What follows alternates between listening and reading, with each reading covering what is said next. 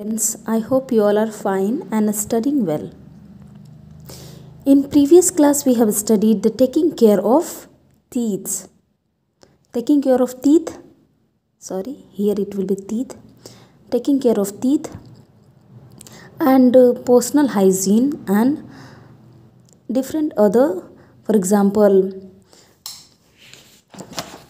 washing hands and taking care of our body this all this have cleaning habits we have studied and today we will cover our taking care of eyes and taking care of hair so let's start today's class how our eyes important for us and how it is very sensitive we will learn in this topic eyes are very important sense organ if you do not have eyes अगर हमारे पास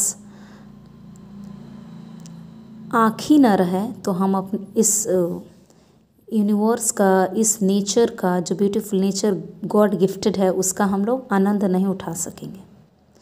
So for all this our eyes are very important and for that we have to take care of our eyes we should keep our eyes clean, take care of our eyes, we should do the followings. We have to take care of our eyes. हमें अपने आँखों का ख्याल रखना और उसको, उसका ख्याल रखने के लिए इन नीचे कुछ हैबिट्स दिए हैं जिसे हमको फॉलो करना है। क्लीन द आइज़ ट्वाइस और otherwise daily by splashing clean and cold water cold water से ठंडी में और ठंडे पानी से नहीं वॉश करना है, थोड़ा वार्म वाटर गुनगुना पानी से बट गर्मियों के समय में आप ठंडा पानी इस्तेमाल कर सकते हैं। It helps to remove the dust and dirt from our eyes you might have in experiencing when you are travelling that how much dust from our road हमारी सड़कों से, हमारे व्हीकल से कितने डस्ट उड़ते हैं और कुछ ही देर में हमारे आँखों में इचिंग शुरू होने लगते हैं। आप एक्सपीरियंस तो किए ही होंगे। मॉर्निंग में जब आप उठते हैं तो उस समय आँखों, आपके आँख के जो कॉर्नर में कितने ज़्यादा डस्ट, कितना ज़्यादा ही डस्ट पार्टिकल इकट्ठा होता है। उसको तो आपने एक्सपीरियंस किया होगा। Never rub the eyes with hands as it may cause infection and allows dirt to enter जब हम आँखों को इचिंग कर मतलब इचिंग होती है हमारे आँखों, हम लोग क्या करते उसको रब करा, रगड़ना शुरू करते हैं। तो हमारे बड़े बुज़ुर्ग, हमसे जो बड़े लोग हैं, हमारे teachers mom your papa everything they use to stop you to not to rub your eyes because when we are rubbing it will infect our eyes because our hand always doesn't remain clean और जो dirt है okay जो dust particles है, हम जो उसे रब करते हैं तो हमारे आँख में ईजिली एंटर कर कर जाएँगे।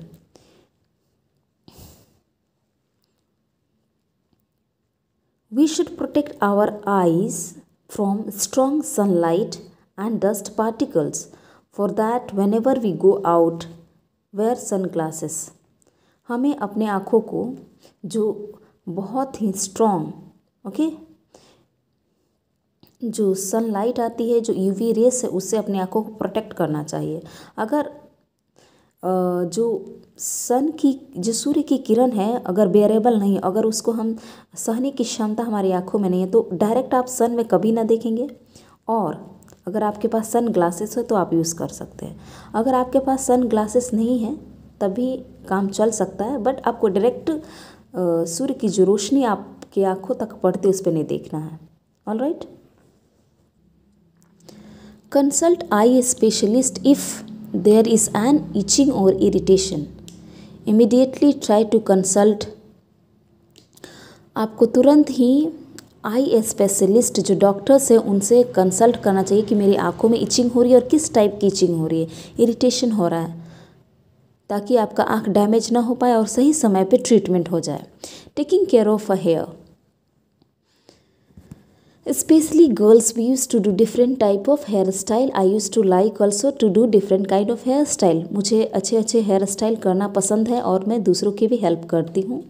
तो इसके लिए हमें अपने बालों का पर्टिकुलर रेगुलर बेसिस पे ख्याल रखना है और उसे वॉश करते रहना ऑयलिंग करना है मसाज करना है ताकि हमारा हेयर फॉल ना हो। अभी इस समय में हम सभी लड़कियों के लिए we for all the ladies और gents also they are suffering from very much hair fall and they are fed up with the hair fall also. So we have to do, we have to take proper care of hair. Our hair catches a lot of dust and dirt every day. Unclean hair also atta- attract attracts lice जू होते उसको attract करते हैं unclean hair this में lead to dandruff and itching of the scalps हमारे जो scalp है उस पर बहुत ही इचिंग होगा और ठंडी के सीज़न में जो कोल्ड वेदर उसमें हमारा स्किन ड्राई हो जाता है और इससे ड्रैंड्रफ की जो मात्रा होती है, ये और अधिक हो जाती है। Hence it is important to take care of our hair to take care of our hair we should do following followings this are the few habits wash hair regularly with a gentle shampoo it there is a dandruff और a lice if there is a dandruff of lice use medicated shampoo और suggest by the doctor अगर सिर पे कुछ और ही समस्या या जू है तो उस स्थिति में हमें मेडिकेटेड ओके औषधीय शैम्पू का इस्तेमाल करना है ताकि लाइस जो हैं वो मर जाएँ और डैंड्रफ भी कम हो।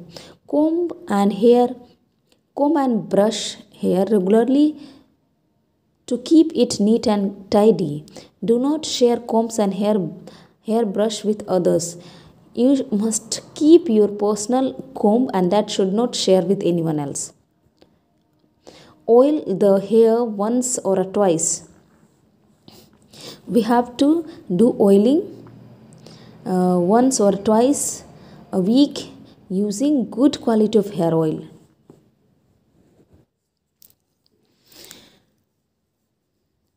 And we have to do the massage on our scalp gently with the fingers it prevents the scalp becoming dry and also in uh, also improves the blood circulation in it जब अपने सिर पे massage करते हैं तो जब अपने हाथों से ऐसे सिर पे इस तरह मसाज किया जाता है ओके फिंगर्स के हेल्प से तो क्या होता है ये जो सरफेस है स्कल्प जो है यहाँ पे ब्लड सर्कुलेशन जो ब्लड का फ्लो बढ़ जाता है और और हमारे जो हेयर के लिए बहुत ही यूज़फुल होता है।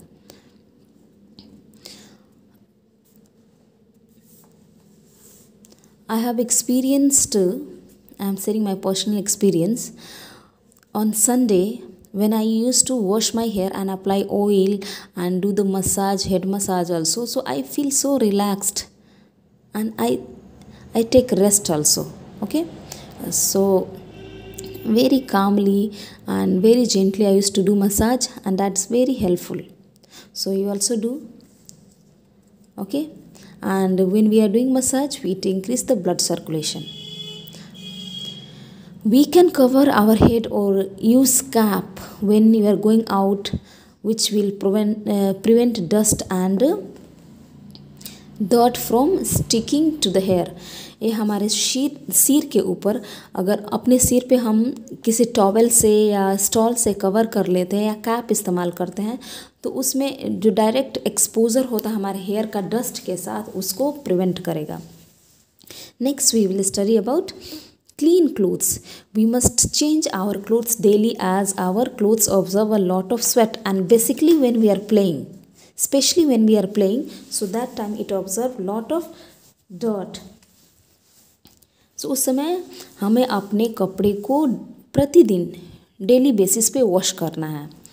We should wear clean clothes after taking bath और हमें नहाने, स्नान के बाद, स्नान के बाद हमें साफ़ कपड़े पहनना है। To keep ourself neat and tidy we sorry we must do the following habits we must follow we should wash our we should wash our used clothes with quality detergent to get rid of dust germs and sweat sweat germs और दर्द से sweat dust और जम से हटाने के लिए इन सबसे रिमूव करने के लिए हमें क्या करना है अ क्वालिटी डिटर्जेंट अच्छी अच्छी क्वालिटी का जो डिटर्जेंट इस्तेमाल करते हैं सर्फ एक्सल जो भी I am not advertising which is good for your clothes you must use wet clothes should be dried in the sun light to kill the germs I we should always spread our clothes in the sun light so that and do the ironing also